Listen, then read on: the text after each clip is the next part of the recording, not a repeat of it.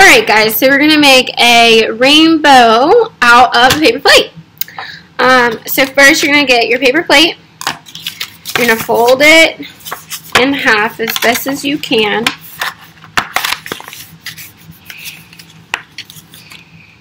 Open it up and cut along that line.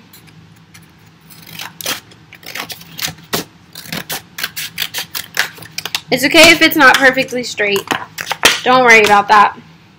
Um, so I started one over here where I took my markers.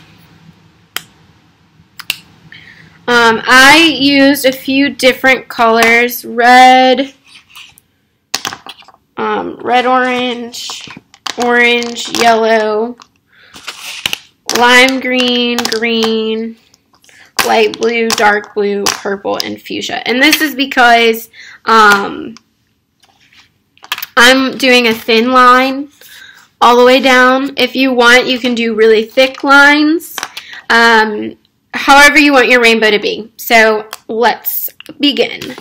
So you're going to want to start with red. The red is the color that is on the outside of our rainbow.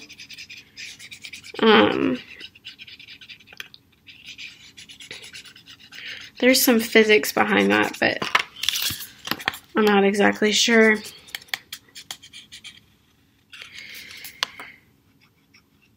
Um, with light and all. But red goes on the outside. And you just want to follow along that edge of the paper plate.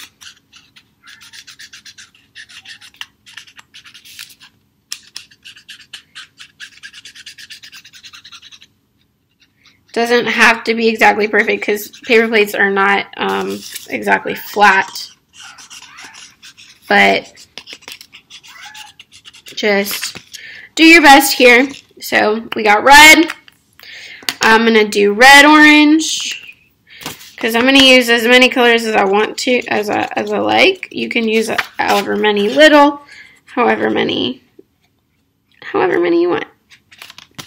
But remember, keep it in order of your rainbows.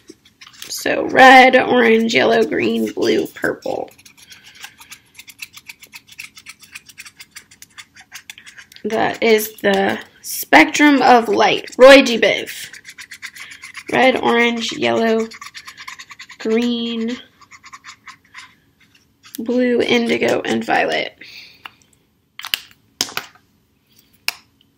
I'm going to do orange. I just want to try and cover as much as of the plate as I possibly can. That's why I'm using as much so many colors. Um, if you don't have this many colors, you can um, just draw thicker, thicker lines so they can be as thick or as thin as you want. But I want a nice big rainbow. And like I said, this does not need to be perfect. This is for fun, for you. Yellow.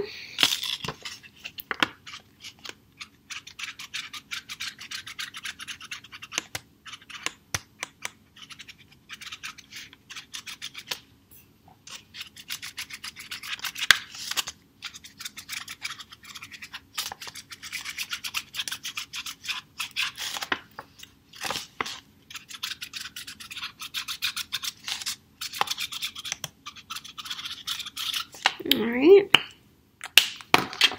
Lime green.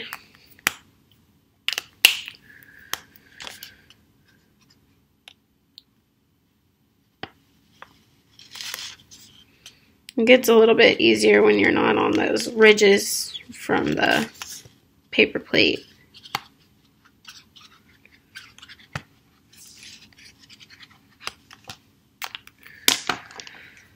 Light blue.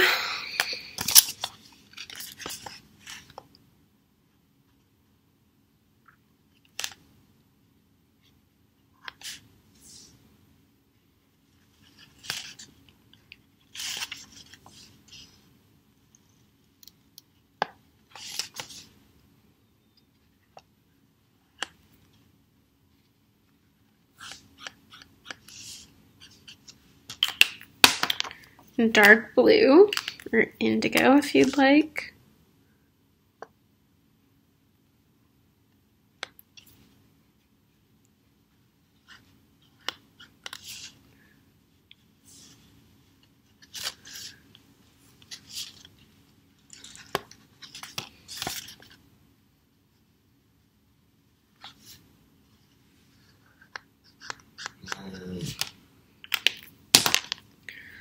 Violet or purple.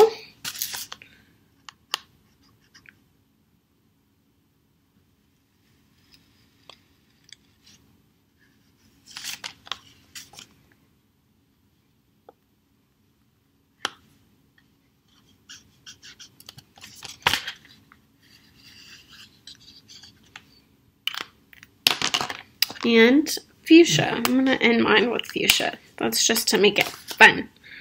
So I think it's a pretty color.